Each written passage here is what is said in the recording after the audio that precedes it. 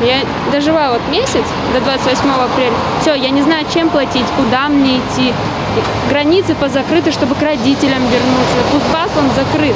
Без денег работы всегда востребованная профессия осталась за бортом из-за пандемии коронавируса. По указу губернатора и под угрозой больших штрафов парикмахеры уже три недели дают отворот-поворот своим клиентам. Здравствуйте. Я сервис. Не работает парикмахерская. С 30 марта не работает, закрытый стоит. Ай-яй-яй, что делать? Не знаю, обрастать? Простать. Кудри растить? Что-то как-то...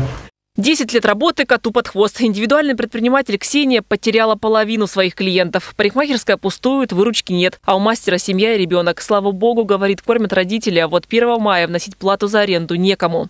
Чтобы нас открыли в ближайшее время. Я говорю не прямо сию секунду, но хотя бы вы нам откройте нас хотя бы за неделю до конца апреля, чтобы мы хоть какие-то деньги насобирали на аренду. Мы уже вообще настолько отчаялись, и мы просим всех, кто э, может нам помочь, открыть мелкий бизнес, открыть мелкие парикмахерские.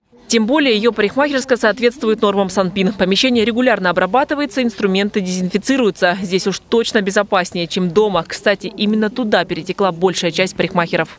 То есть э, мастер на дому будет принимать клиентов, э, он не будет обрабатывать никаким образом инструмент, и тогда уже, конечно, уже будет понятен вопрос о заражении коронавирусом. Вот, пожалуйста, в интернете сотни предложений по парикмахерским услугам. Мастера прижаты к стенке настолько, что нарушают указ губернатора и стригут дома. Для некоторых это неприемлемо, они в очередной раз хотят договориться с властью и даже разработали концепцию работы в пандемию.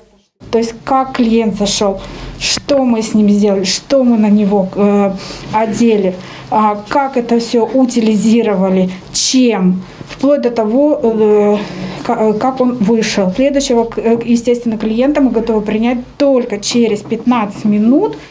В перерывах полная дезинфекция и стерилизация. И записи, кстати, строго по телефону. Подробную схему работы готовы предоставить губернатору. Мастера надеются, что их услышат. Как уже услышали власти Новосибирской области и Республики Алтай. Там эта сфера возобновила работу. Кстати, если парикмахерские в городе так и будут закрыты, то шуточные картинки, которые гуляют сейчас по интернету, перестанут быть шуточными.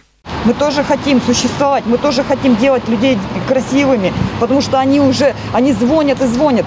Валентина Аскерова, Александр Антропов. День с толком.